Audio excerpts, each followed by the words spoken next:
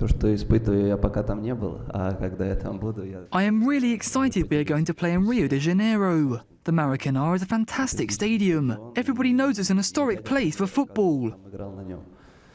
Не каждому удается там сыграть. Ну, я думаю, что первая игра прошла. и We've forgotten about the draw with South Korea. Позади, а сейчас предстоит... It's behind us, and we have to focus on Belgium, which is a huge game. We have a big responsibility on our shoulders, and we have to go and do our best to get three points, to get the chance to qualify for the knockout rounds.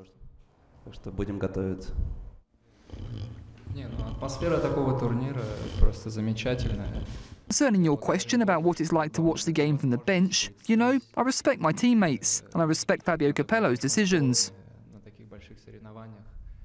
So if he decides that I must be a sub, that means there are players better than me right now, so I will wait for my chance.